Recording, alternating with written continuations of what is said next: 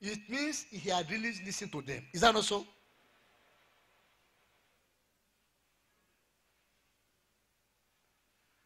Brethren, watch. Yesterday we heard Jesus saying, Take it so that the light in you be not darkness. When they remove the cross from the gospel, the gospel that is supposed to be light, what has it become? What has it become?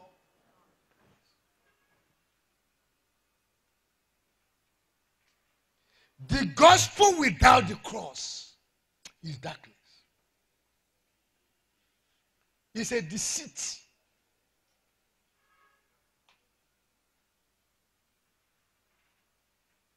It's, it's an evil.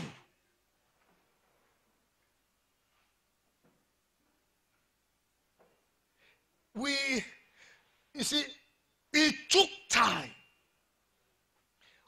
Some of us were confused to the point of saying, God, what is happening? Is it that the gospel is no more powerful? Why are people attending meetings? They are not converted. People will pray all night. They are not converted. I will begin to seek God. And the Lord began to draw attention to this thing.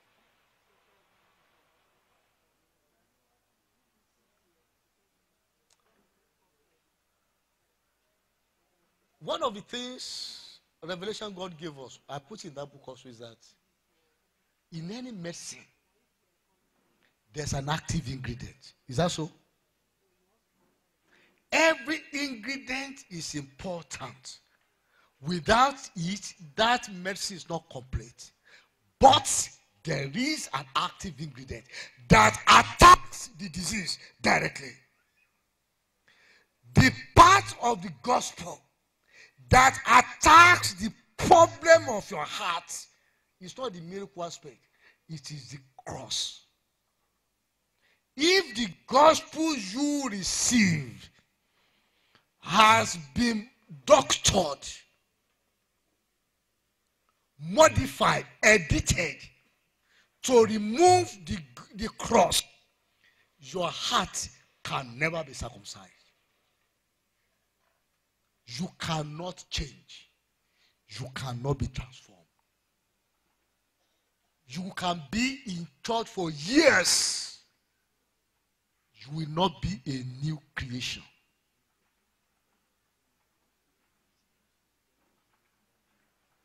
Watch. Watch. The other thing we are told pray.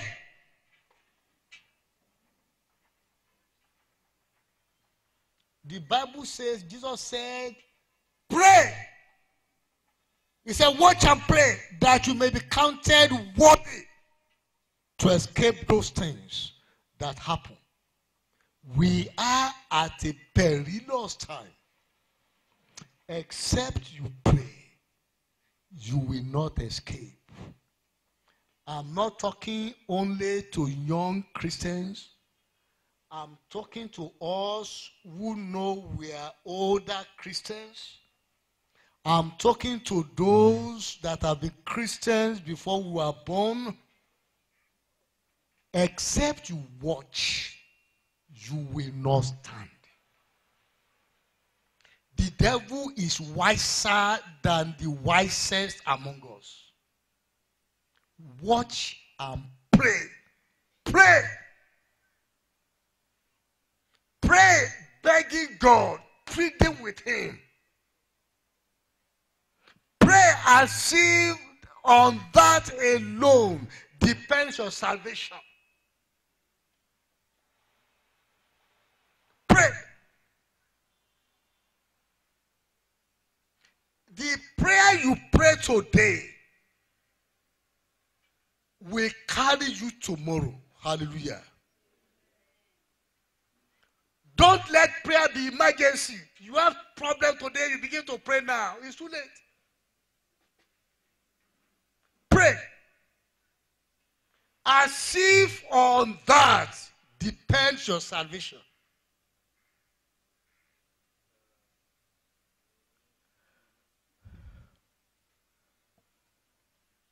These are attitudes.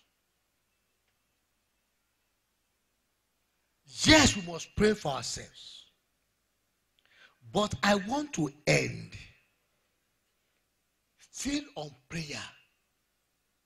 We must pray for the body, the church. I started by reminding you that the Bible says the tabernacle of David is in ruin. But the Lord said, what did Lord say? What did Lord say? What did Lord say? I will return. Look, I love that portion. He said, I will return.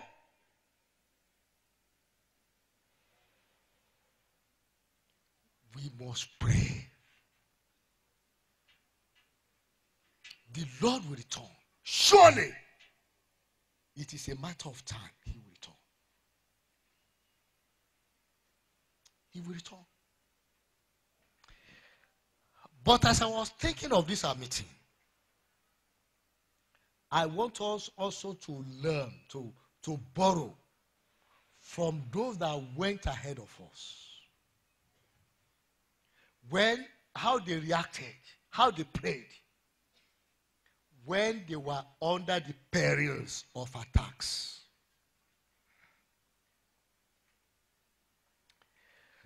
Let me turn to, let's turn to Psalm 44 first. Psalm 44. Psalm 44 is a situation that demands prayer. A situation when the people of God prayed. What prompted their prayer in Psalm 44? Let me begin to read from verse 1. We have heard with our ears, O God.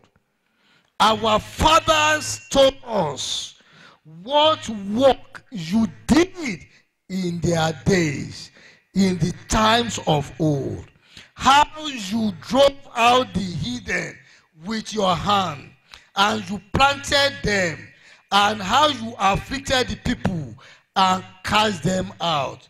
They got the land in possession, not by their own sword, nor by their own arm, nor that their arm saved them, but your right hand and your arm and the light of your countenance, because you have favor unto them. These were the children of God. They are saying that they heard what God did in the past.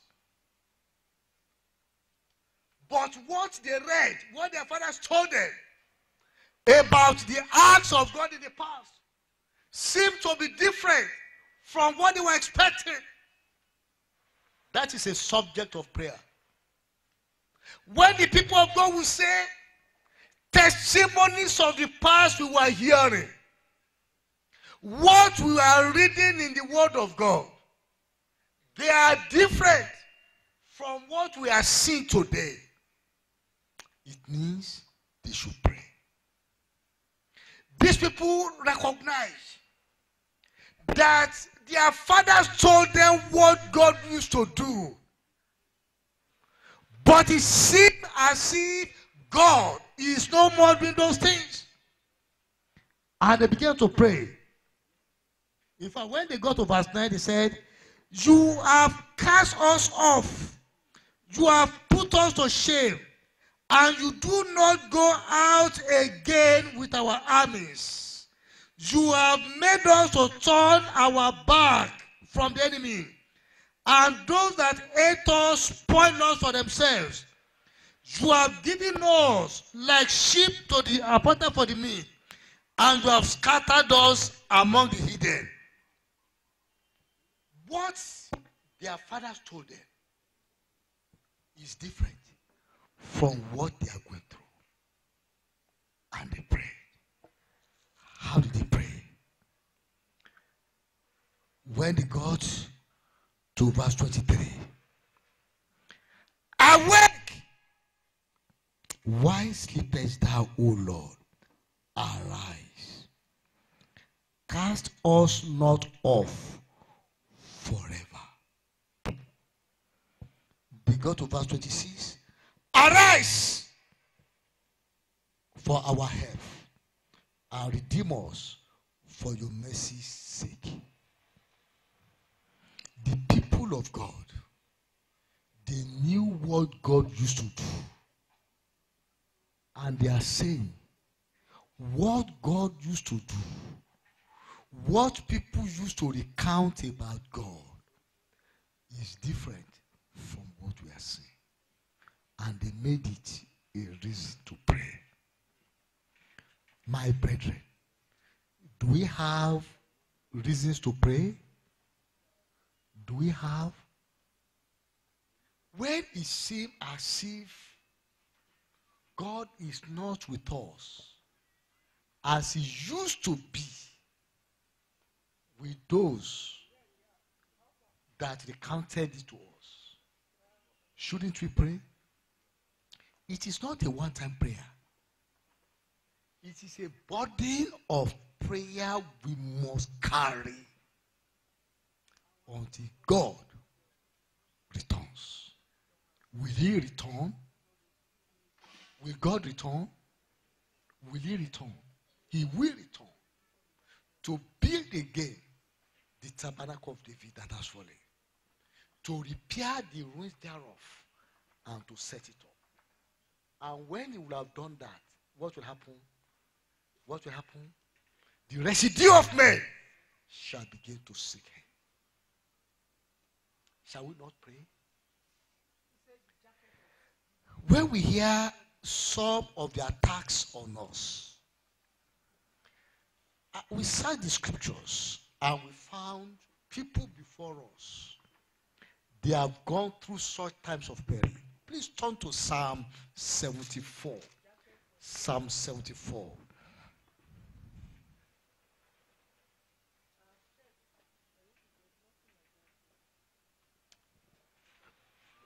Can somebody that is still very strong come and help me to read? Somebody can come and help me to read it here from microphone.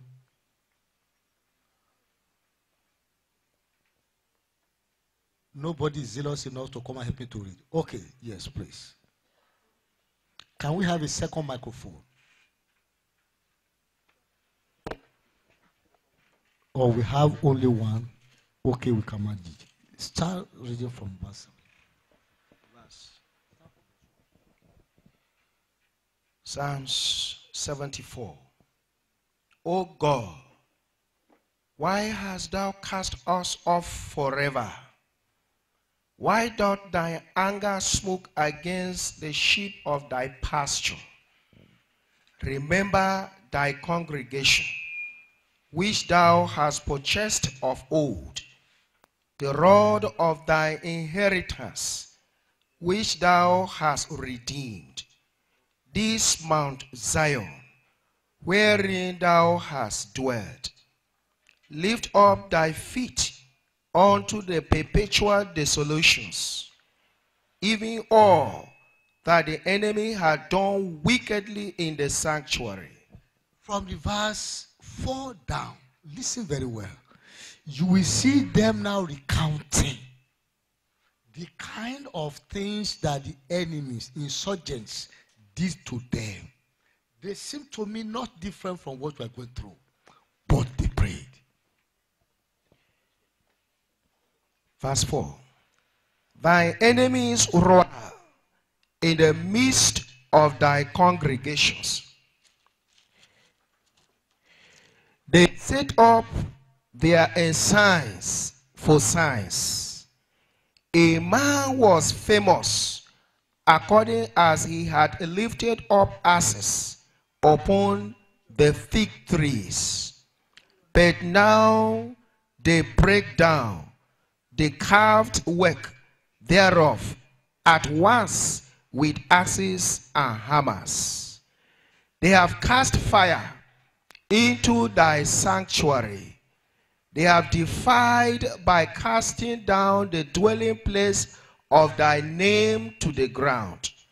They said in their hearts, Let us destroy them together. They have burnt up all the synagogues of God in the land. We see not our signs. There is no more any prophet, neither is there among us any that knoweth how long, O God, how long shall the adversary reproach? Shall the enemy blaspheme thy name forever? While we drawest down thy hand, even thy right hand, pluck it out of thy bosom. Can you see what the people of God at that time went through?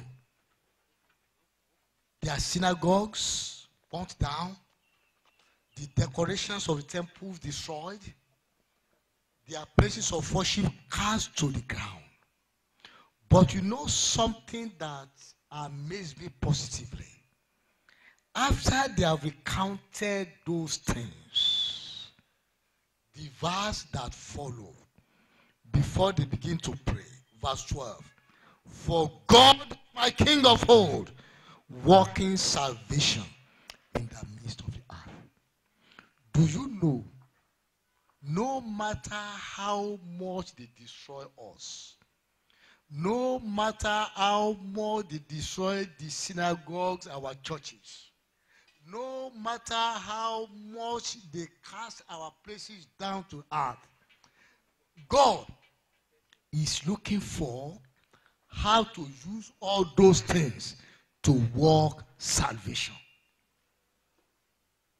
In the midst of all those things, God is still working salvation. Is God working salvation in Nigeria? Is he working salvation in Adamawa State? Is he working salvation in Taraba? Is he working salvation in Borno, in Gombe?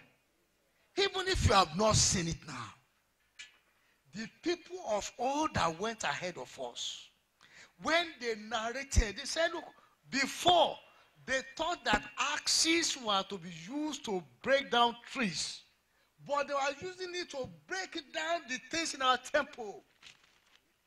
They were using it to destroy our synagogue. But in all this burning and destruction, they said, For God is my king of old. What does he do?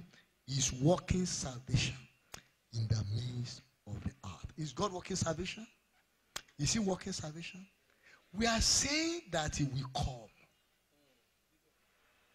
Could it be that those things need to happen to make his coming to happen faster? He will come. As we look at all that is happening, let us know that others have overcome. Hallelujah. They have overcome. Similar things had happened. And they overcame. They prayed. And they overcame. And let us be comforted. Because God said, I shall return.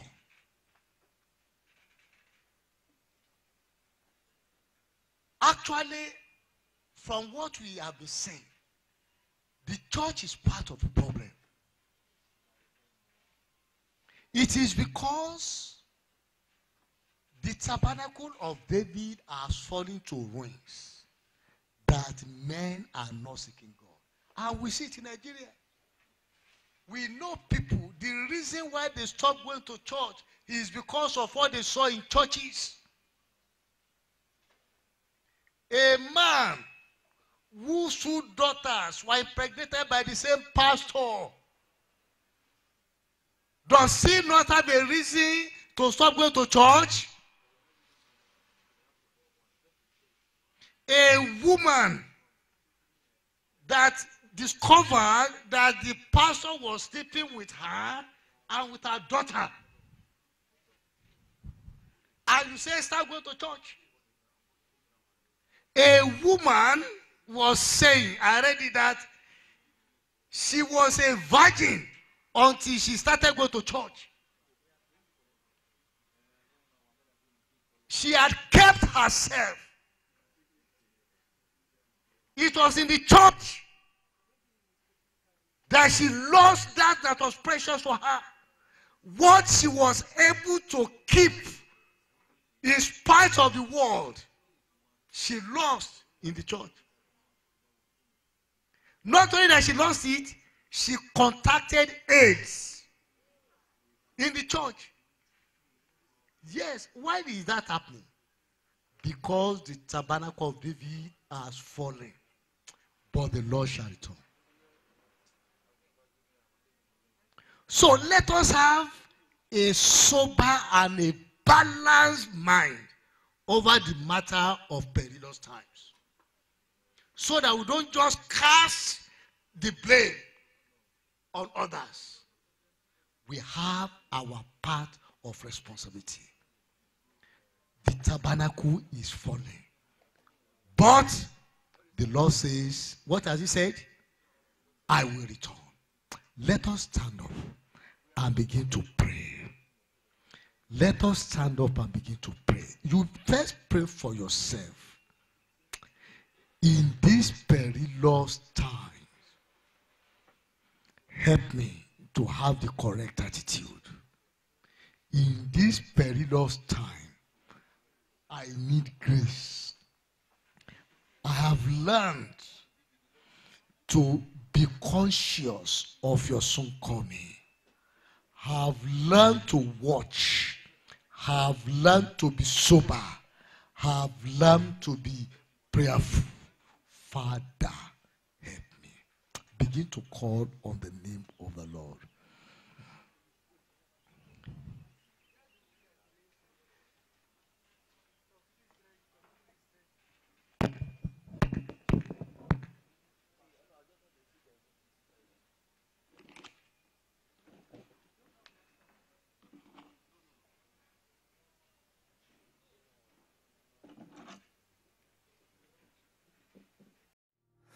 I have